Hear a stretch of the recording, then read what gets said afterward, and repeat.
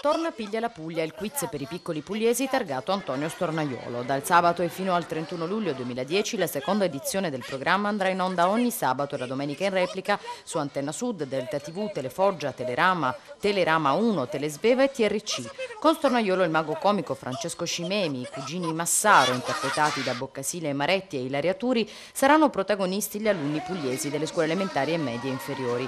24 puntate della durata di 36 minuti dedicate alle risorse agricole e agroalimentari del territorio pugliese e all'educazione alimentare dei più piccoli e degli adolescenti. L'obiettivo è far conoscere i prodotti tipici e approfondire alcune tematiche legate al mangiare e al vivere sano.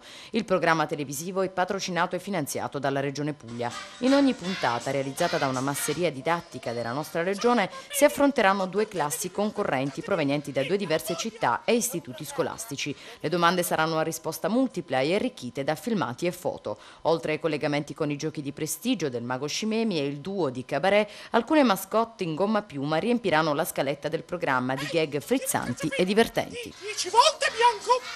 Bianco, bianco, bianco, bianco, bianco.